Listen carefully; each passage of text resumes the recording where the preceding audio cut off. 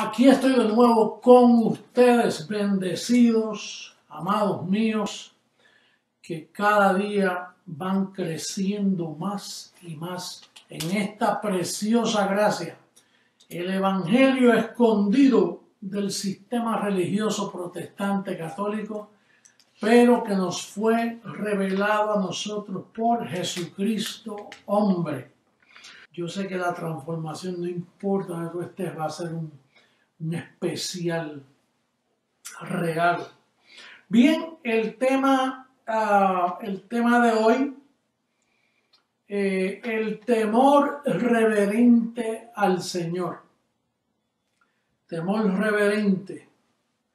Vamos a ver, a comenzar por Hebreos capítulo 5, en el verso, en el verso 5, 5, 5 al 10. Dice, ah, así tampoco Cristo se glorificó a sí mismo, haciéndose sumo sacerdote, sino el que le dijo, tú eres mi hijo, yo te he engendrado hoy, como también dice en otro lugar, tú eres sacerdote para siempre según el orden de Melquisedec. Y Cristo en los días de su carne, ofreciendo ruegos y súplicas con gran clamor y lágrimas, al que le podía librar de la muerte, fue oído a causa de su temor reverente. Cristo, siendo quien fue, tuvo temor reverente y fue oído a causa de ese temor reverente. Y aunque era hijo por lo que padeció, perdón, aprendió la obediencia y, habiendo sido perfeccionado vino a ser autor de eterna salvación para todos los que le obedecen y fue declarado por Dios sumo sacerdote según el orden de Melquisedec. Por lo que padeció, aprendió obediencia. A veces el padecer es el mejor aliado nuestro para aprender a ser obediente. Si no se padece, eh, no hay buena obediencia. Y Cristo eh, tuvo, tuvo que sufrir mucho, pero todo eso eh, es un, un cuadro. Fíjate que Cristo fue un velo, como tú eres un velo. Cristo fue el velo de Dios y tú eres un velo de Dios. Lo único que tu función es diferente. Tú eres un Dios, un espíritu justo hecho perfecto, un cuerpo. Pero a ti también se te va a demandar obediencia. A ti también se te va a mandar que a través del sufrimiento aprendas obediencia. A ti también, cuando sufres, eh, la prueba de vuestra fe produce paciencia. Y la paciencia fe. Así que eh, no, no, nos vamos a librar de, de ese sufrimiento. Una vez el Señor dice, el discípulo no es mayor que su maestro, dando a entender si el maestro sufrió y le vino bien, eh, quiere decir que el sufrir en nuestras vidas eh, nos ayuda a aprender obediencia. Este tema, temor reverente, nació de un correo que me envió Albi, Álvaro Albarracín. Él me estuvo testificando que desde hace años en Miami él veía la actitud de los que ya no están con nosotros. Y él ahora entiende por qué no están con nosotros. Y era que les faltaba temor reverente. Eh, él vio eh, siempre al principio, él dice que comenzaban bien. Luego cuando entraban en confianza, abusaban, sea en el trato personal conmigo, sea en las finanzas, uh, o, la fidelidad del tiempo de trabajo, se ausentaban, venían a la hora que les daba la gana a la oficina, o lo cogían suave, eh, vivían como en un, eh, eh, en una en un estilo de como de vagancia, como quien dice, ya yo llegué, yo soy un bendecido, yo soy del apostolado.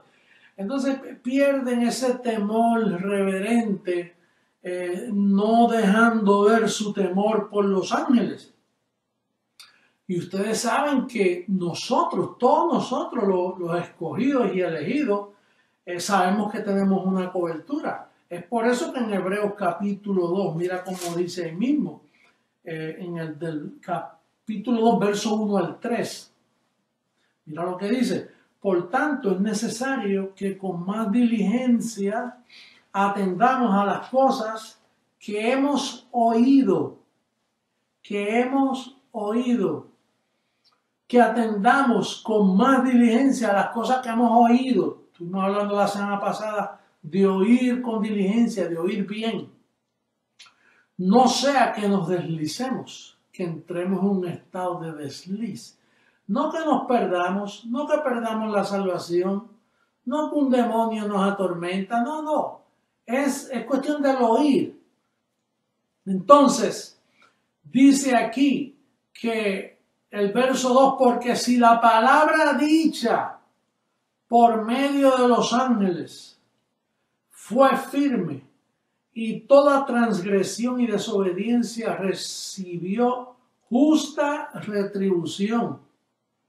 Toda transgresión y desobediencia recibió justa retribución. ¿Cómo escaparemos nosotros si descuidamos una salvación tan grande? La cual habiendo sido anunciada primeramente por el Señor, no fue confirmada por los que oyeron, testificando Dios juntamente con ellos con señales y prodigios y diversos milagros y repartimientos del Espíritu Santo según su voluntad.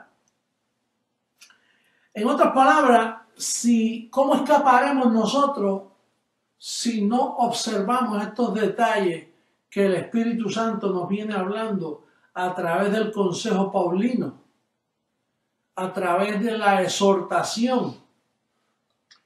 Bueno, nosotros estuvimos un pacto donde no podíamos, no podíamos cumplir. Pero fíjate que estábamos ajenos a, la cubierta angelical. No solo ajenos en conocimiento, pero que no estaba la cubierta angelical porque esa cubierta desapareció con Pablo. Pablo dijo, después de mi partida se acabó, la gracia se acaba porque la cubierta angelical, el arca, se desaparece y entonces os entregarán a doctrinas y cometerán apostasía, bueno, y lo que sucedió por dos mil años. Pero ya el arca del pacto volvió, ya la mente de Cristo está en pie, ya el tribunal de Cristo se estableció sobre la tierra, por lo tanto se nos va a exigir eh, temor reverente en cuanto a las cosas del Señor. Por ejemplo, eh, ¿cómo tú puedes mentir lastimar, engañar y no tener temor reverente delante de los ángeles? Tú no puedes, tú no puedes vivir así. ¿Sabes por qué? Porque antes tú no tenías este conocimiento, pero ahora tú dices, cuando vas a hacer algo, te dice, el ángel te está observando y te va a pedir cuenta. Mira cómo dice Hebreos 14, perdón, 12, 28. Dice, el verso 28, así que recibiendo nosotros un reino inconmovible. Esto no es cualquier reino, esto es un reino inconmovible. Tengamos gratitud y mediante ella sirvamos a Dios agradándole con temor, ese es el tema, con temor y reverencia. Temor reverente, ese es el tema de hoy. Tú has recibido un reino tremendo. Tú no puedes abusar de eso. Tú no puedes eh, eh, decir, bueno, yo trabajo con el obispo y, como yo ayudo en las ofrendas que se recogen, o yo trabajo como colaborador, eh, pues mira, ay, el, obispo, el colaborador tiene más que yo. Y de momento sustraes del plato de las ofrendas. Tú no puedes hacer eso, bendecido. El ángel te está observando. ¿Cómo tú puedes extraer de la bolsa. Eso lo hacía Judas, un traidor como Judas. Pero tú no puedes extraer dinero de la ofrenda que se recogen y que porque tú ves al colaborador bien, al obispo bien o al apóstol que tú lo ves que tiene, ah, no, si el apóstol tiene, olvídate, tranquilo. No, porque eso uno lo cosecha y, tú tienes que cosechar lo que tú siembras, pero así no se cosecha. Así ya, eso se llama robo. Eso se llama extraer de la bolsa, o sea, ganancia deshonesta. Aquí se exige eh, fidelidad, porque toda transgresión recibirá justa retribución. Si los impíos y este mundo va a recibir justa retribución, mira ese terremoto en, Nueva Zelanda. Eso es retribución y, lo que falta porque se llenará la tierra de cadáveres. Mira ahora mismo el problema allá en toda esta área donde abandonaron a Pablo. Mire Egipto cómo va. Eh, todos estos países eh, orientales, todo el sufrimiento, eso es justa retribución. Y ya estamos en los momentos de justa retribución. Y los que están creciendo en gracia, mira, mejor bájate, bájate del púlpito, entrega y siéntate en una esquinita mejor. Pero si vas a estar colaborando, tiene que ser fiel. En todo, en el tiempo que tú eh, eh, dedicas para el Señor, en lo que haces con prontitud, llegar temprano, llegar eh, a su tiempo, las cosas, rendir lo que uno tiene que rendir para, para la obra del Señor. Dice, mira cómo dice Tito capítulo 3, versículo 3 al 9. Vamos a leer esta, esta lectura. Tito capítulo 3. Dice, porque nosotros también éramos en otro tiempo insensatos, rebeldes, extraviados, esclavos de concupiscencias y deleites diversos, viviendo en malicia y en envidia, aborrecibles y aborreciéndonos unos a otros. Fíjate lo que dice Tito, pero cuando se manifestó la bondad de Dios nuestro Salvador y su amor para con los hombres, como quien dice, dando un alto, oye, todo eso se te perdonó en el pasado, todo lo que hiciste, pero ahora alumbrado en gracia vas a seguir haciéndolo. Eso no se te va a dar con lugar, no te vas a escapar, porque toda desobediencia va a recibir justa retribución. Tú, no puedes escapar así y abusar de la gracia así, tomarla como libertinaje. Mira cómo dice, nos salvó, verso 5, nos salvó no por obra de justicia que nosotros hubiéramos hecho, sino por su misericordia, por el lavamiento de la regeneración y por la renovación en el Espíritu Santo, el cual derramó en nosotros abundantemente por Jesucristo nuestro Salvador, para que justificados por su gracia, viniésemos a ser herederos conforme a la esperanza de la vida eterna. Palabra fiel es esta y en estas cosas quiero que insista con firmeza, para que los que creen en Dios procuren ocuparse en buenas obras. No es por obras, pero para ocuparte en buenas obras. Me explico. No por obras, pero para que te ocupes en buenas obras, que se vean buenas obras. Tú no puedes andar borracho, tú no puedes seguir con la fumadera, tú no puedes seguir dando tumbo, tú no puedes seguir mintiendo y lastimando y engañando. No se puede, porque te van a llamar la atención, bendecido. Y tú tienes que ser oído por tu temor reverente. Tú tienes, tú ser oído por tu temor reverente. Hay que mostrar temor reverente en la amada y con los bendecidos, con los hermanos tuyos tienes que mostrar misericordia. No puedes vivir así. Mira como dice uh, Romanos capítulo 14. Bueno, antes de Romanos dice, si tú estás leyendo los proverbios, que es lo que yo he venido diciendo, verás verdades que se cumplen hoy en todas partes lo que advirtió Salomón de la conducta humana, hoy el mundo está lleno de necios, lleno de gente irreverente, lleno de gente que hablan necedad por su boca, que no son sabios, que no practican la sabiduría. Y entonces, eh, eh, esos proverbios, fíjate, hay un proverbio aquí que antes de leer el, romano, voy a leer el proverbio que me, no sé, me llamó la atención este verso tan bonito. Dice, el que tarda en airarse es grande de entendimiento. El que tarda en airarse.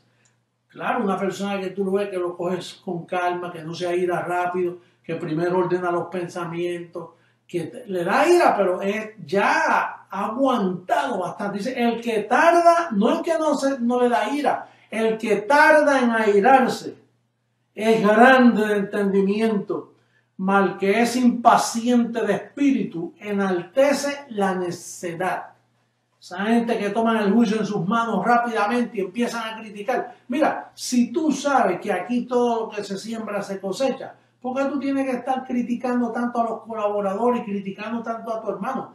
Ten más evidencia, llámalo, busca la forma, llámale la atención, dale oportunidad, pero no tomes juicio en tus manos rápidamente. ¿Por qué tú crees que Jesucristo vivió, resucitó y volvió a vivir? Para ser Dios de los vivos y los muertos. Vamos a terminar con Romanos capítulo 14, cuando habla del tribunal de Cristo. Ahí podemos ver una buena información para nosotros, los que hemos sido alumbrados. Eh, mira cómo dice el verso, no, porque Cristo para esto murió y resucitó y luego volvió a vivir, murió, resucitó, se escondió por dos mil años en una inaccesible y volvió a vivir para ser Señor así de los muertos como de los que viven. Verso 10. Pero tú, ¿por qué juzgas a tu hermano? O tú también, ¿por qué menosprecias a tu hermano? Porque todos compareceremos ante el tribunal de Cristo.